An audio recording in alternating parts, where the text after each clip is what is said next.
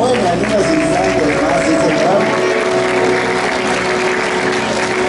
Que se escuche bonito el aplauso.